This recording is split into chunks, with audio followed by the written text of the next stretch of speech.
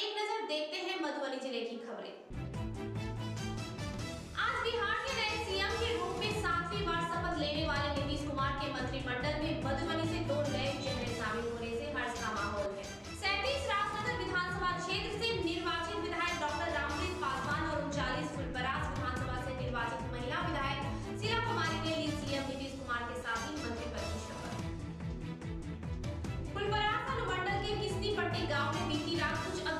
डकैतों ने मकान के पीछे से दीवार पर चढ़कर आँगन में प्रवेश कर एक घर से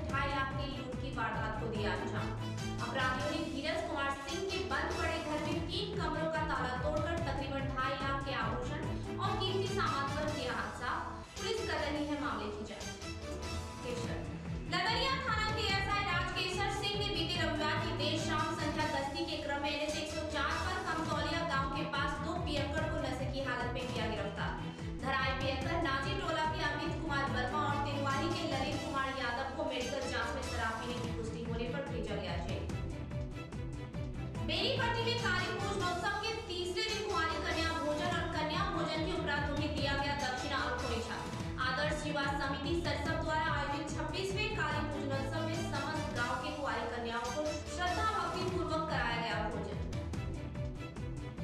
भैरव स्थान थाना पुलिस ने बीती रविवार की देर रात रात्रि गश्ती के दौरान भराम चौक से एक पियक्कड़ को नशे